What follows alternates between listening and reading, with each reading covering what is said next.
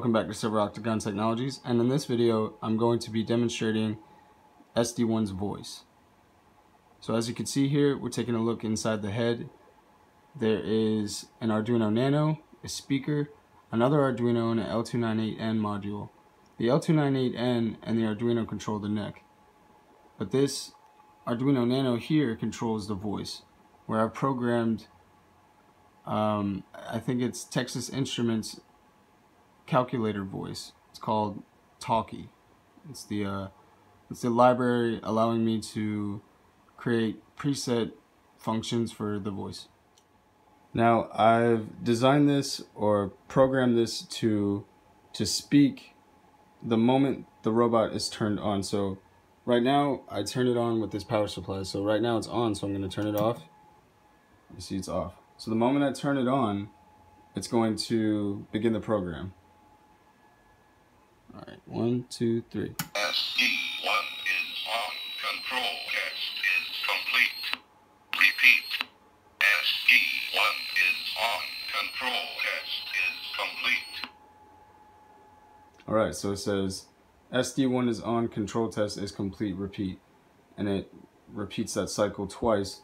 Um, I was able to cycle through uh, different words. It's about a thousand words that I can choose from, and a lot of them are uh, military terms and engineering terms.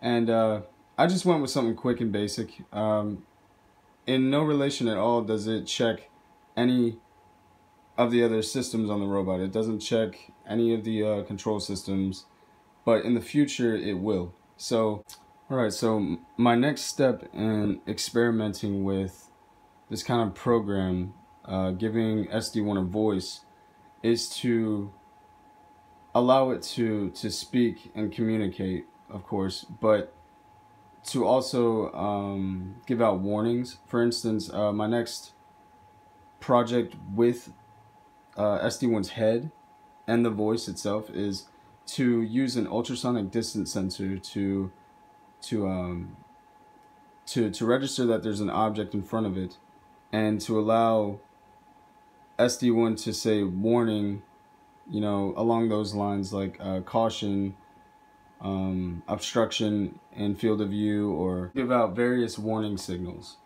And that's just scratching the surface as to what I'm capable of doing with just a basic program. Now, I am going to upgrade this to a, um, a MP3 module to where I can pre-record different phrases and sort of things like that.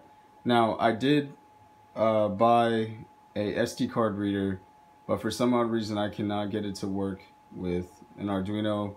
Maybe it's just faulty, maybe I should just get a new one, but either way, it's going to happen very soon.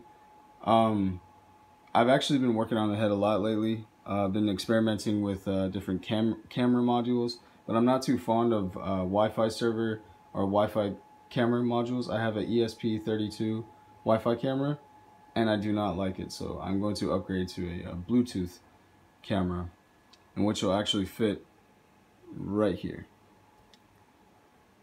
In which the robot looks kind of menacing with that speaker in the eye.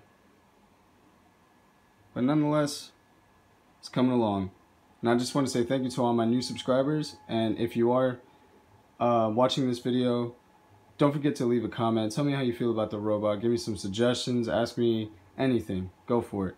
And uh, don't forget to like the video, subscribe if you haven't, and I will see you guys next time. Thank you. SD1 is on. Control test is complete. Repeat. SD1 is on. Control test is complete.